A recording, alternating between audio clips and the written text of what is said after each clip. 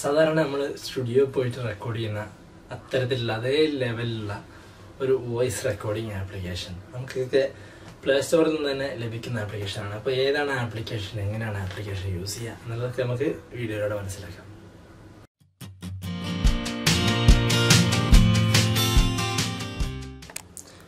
ഈ ആപ്ലിക്കേഷന്റെ പേര് എക്കോ എന്നാണ്. എക്കോ ഈ ആപ്ലിക്കേഷൻ ഓപ്പൺ ചെയ്യുമ്പോൾ നമുക്കത് എങ്ങനെയാണ് കാണാൻ സാധിക്കുക? ഒരു മൂന്ന് ഡോട്ട് താഴെയും മേലെ ഒരു സ്റ്റാറും ഇവിടെ ഒരു മെനു ഇതും. അപ്പോൾ ഈ ആപ്ലിക്കേഷനിൽ നമുക്ക് ചെയ്യാൻ കഴിയുന്ന സാധ്യത കാരണം കാര്യങ്ങൾ നമുക്ക് നോക്കാം. അത് നമ്മൾ സെറ്റിങ്സിൽ പോകുന്നു. അതിൽ ഇതൊക്കെ ഓഫായിട്ടുണ്ടാവുക എക്കോ എഫക്റ്റൊക്കെ അപ്പോൾ അതൊക്കെ നമ്മൾ ഓൺ ചെയ്യണം. ഓക്കെ? പിന്നെ ഈ ഇവിടെ ഹോൾഡ് ടു റെക്കോർഡ് എന്നുള്ള ഓപ്ഷനാണ് ഉണ്ടാവുക. അപ്പോൾ നമ്മൾ എന്താണ് ടാപ്പ് ടു റെക്കോർഡ് എന്നുള്ള ഓപ്ഷനിലേക്ക് മാറ്റണം. അതിനുശേഷം നമ്മൾ എക്കോ എഫക്റ്റ് ഓൺ ആക്കുകയാണ്. അതിനുശേഷം എക്കോ വോളിയം എന്നുള്ള ഓപ്ഷൻ ഉണ്ട്. അപ്പോൾ നമുക്ക് നമുക്ക് വേണ്ടതനുസരിച്ചുള്ള എക്കോ ആണ് കൊടുക്കുന്നത്. നമ്മളിപ്പോൾ ഏറ്റവും നോർമൽ ആയിട്ടുള്ളത് ഏറ്റവും കുറഞ്ഞത് പത്ത് ശതമാനമാണ്. അപ്പോൾ അത് കൊടുത്തു. എക്കോ ഡിലേ എന്നുള്ളത് ഞാനിപ്പോൾ ഒരു നോർമൽ ആയിട്ടുള്ള അഞ്ച് കൊടുത്തു.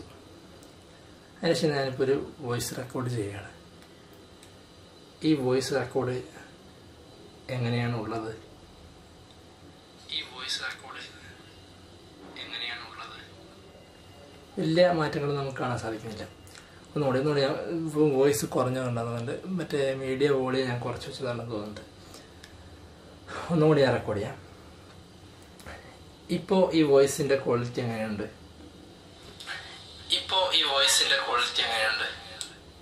കുറച്ചൊരു കുറച്ചൊരു എക്കോ എഫക്റ്റ് വന്നിട്ടുണ്ട്. അപ്പോൾ നമ്മൾ സെറ്റിങ്സിൽ കയറിയിട്ട് ഒന്നും കൂടി ഒന്ന് എക്കോ ഡിലേ ഒന്ന് മാറ്റുകയാണ്.